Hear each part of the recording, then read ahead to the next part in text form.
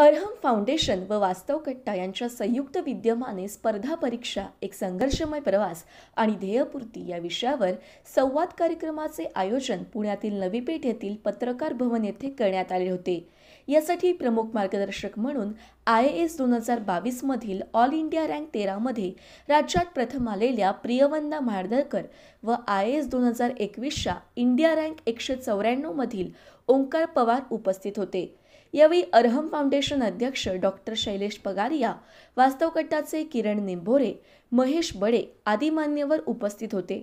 या कार्यक्रमाचे आयोजन डॉक्टर शैलेश पगारिया डॉक्टर आतिश चोरडिया स्वराज पगारिया महेश बडे किरण निंभोरे अंकुश धवणे यांनी केले होते.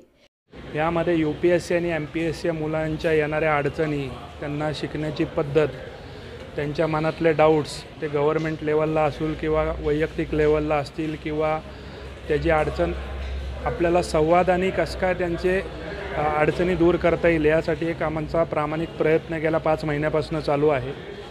आणि खूप चांगले आम्हाला पाहुणे या संवादाच्या विषयामध्ये लाभलेले आहेत. प्रवीण दीक्षित असतील दयानंद मेश्राम सर असतील स्वतः राज्याचे राज्यमंत्री दत्तामामा भरणेसाहेब आले होते.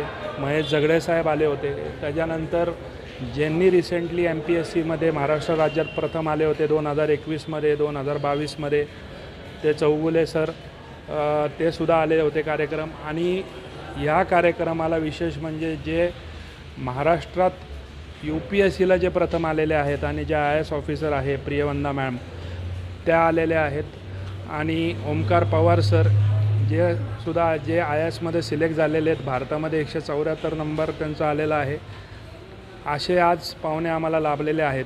ह्याच्यामागे हेतू एकच आहे की जे पुण्यामध्ये एक हब आहे की यू पी एस सी आणि एम पी एस सीच्या परीक्षासाठी मुलं बाहेरगावनं पूर्ण महाराष्ट्रामधनं मुलं येतात इथे शिकायला.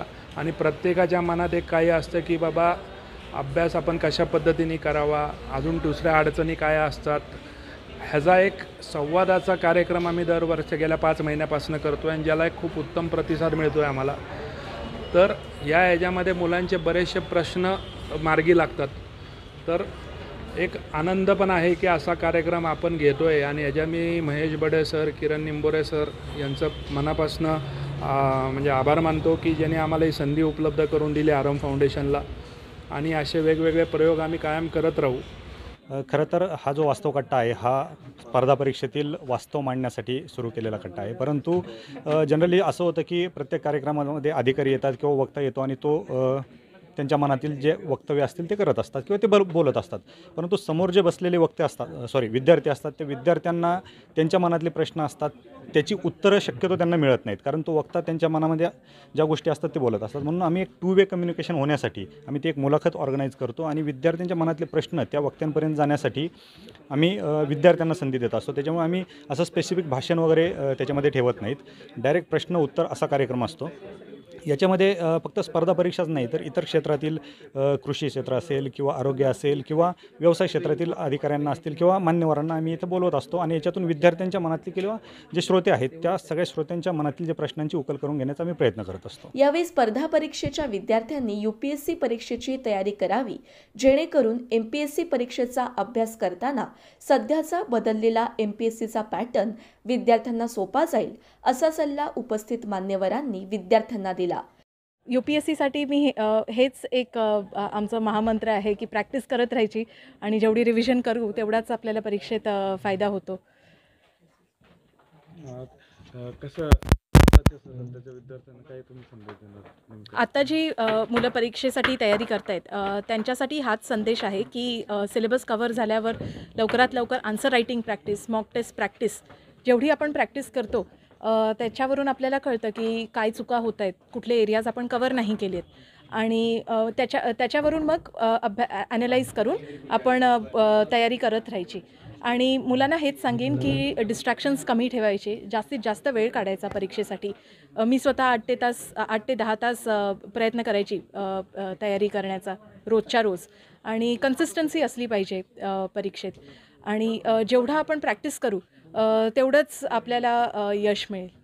तसेच एम पी एस सी व यू पी एस सी बरोबर स्पर्धा परीक्षेच्या विद्यार्थ्यांनी आपल्या करिअरचा प्लॅन बी तयार ठेवावा असे आवाहन करण्यात आले. यू पी एस सीचा आणि एम पी एस सीचा सिलेबस सेम झाल्यामुळं मराठी टक्का जो यू पी एस सीमध्ये होईल आता इथून पुढे दोन तीन वर्षांत दिसेल तो वाढलेला दिसेल. आणि त्याचबरोबर एम पी एस सीचं पण एक असं ऑब ऑब्जेक्टिव्ह असल्यामुळं जे आता डिस्क्रिप्टिव्ह आलं आहे त्यामुळे पण एक चांगल्या प्रकारचा टॅलेंट सर्व्हिसमध्ये येईल असं मला वाटतं मला असं वाटतं विद्यार्थ्यांनी या क्षेत्रात येताना एक सनसेट क्लॉस ठेवला पाहिजे की आपल्याला एवढ्या एवढ्या वर्षानंतर हे थोडंसं मग दुसऱ्या प्लॅनकडे जाता येईल. मग आधीच ठरवून यायचं आणि एक्झाम आहे ती एक्झामच्या प्रमाणेच घ्यायची. त्याचं कुठे इमोशनली आपण त्याच्यामुळे वीक नाही व्हायचं. एवढं आणि एक एखादा प्लॅन बी म्हणण्यापेक्षा दुसरा प्लॅन असावा आपला की या या क्षेत्रातून सोडून पण दुसऱ्या क्षेत्रात आपल्याला काहीतरी करता येईल याचं प्लॅनिंग करून ठेवलं पाहिजे. वास्तवचा हा जो कार्यक्रमाचा नियोजन कसं वाटतं हे जे आत्ता आरम फाउंडेशन आणि वास्तव कट्टा यांनी नियोजन घेतलं ते अतिशय उत्कृष्ट आहे. आणि जे व्यासपीठ अवले अवेलेबल करून दिलं आम्हाला मॅडमला आणि मला तर त्याबद्दल मी त्यांचे त्यांचे आभार मानतो. हॅप्पी राहणार आहे. आणि कुठलीही एक्झाम जरी फेल्युअर जरी आलं तरी मला त्यातून मार्ग काढून पुढे जायचं आहे. एक आपण आपल्या माइंडमध्ये ठेवलं पाहिजे. आणि दुसरे काय बोलतायत किंवा बाकीचे काय टीका करतायत याच्यावर लक्ष न देता आपला अभ्यास चालू ठेवला पाहिजे.